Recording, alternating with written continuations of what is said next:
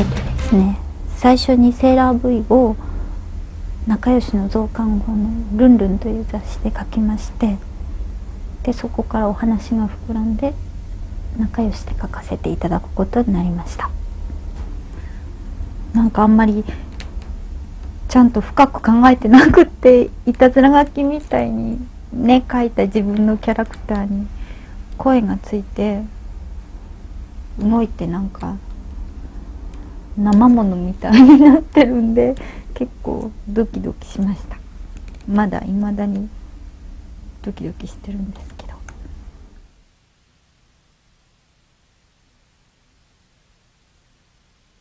えっ、とそれはですね私の担当編集の長野さんが「セーラー服の正義の戦士にしたら?」って言うんでそうしました一応タキシード仮面が私は気に入ってます。えっ、ー、と私はどっちかっていうとうんと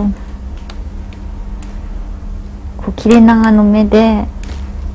いつもムッとしててでなんか服はスーツとかタキシードとかそういうのを着てるような男の人が好きなのでそれをじゃあキャラクターで。あの主人公の女の子が好きになる男の子にしようかなと 思って。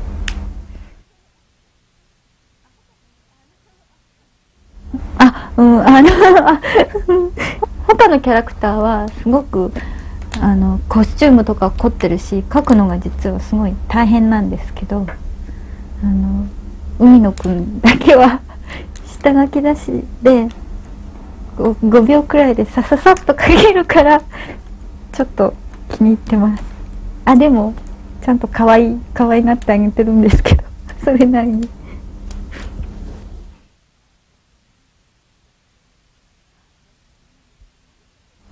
あでもうんと今までああいうキャラクター描いたことなかったんで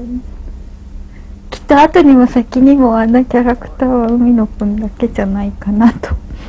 海野くんは本当は 眼鏡を取ると一応ハンサムっていう設定なんですけど。原作ものをアニメにするとすごくいろいろ難しいみたいなんですけれど一応セーラームーンはすごく私のイメージ通りに全部うまくいったっていうか色も声優さんもあとノリとかもすごくしっくりいったっていうか自分のイメージ通りだったって。本当は セーラームーンでそういうふうに、えっと、戦隊ものっていうかゴレンジャーとか10レンジャーみたいに